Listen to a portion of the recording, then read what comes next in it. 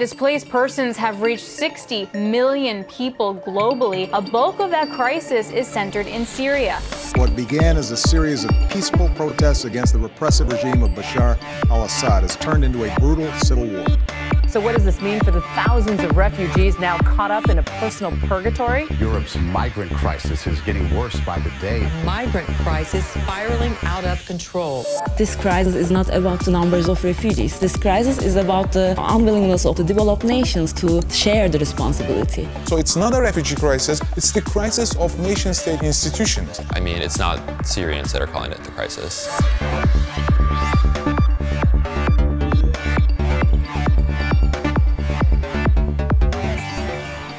Beings are migratory animals. we have always been migratory animals. We're never going to stop.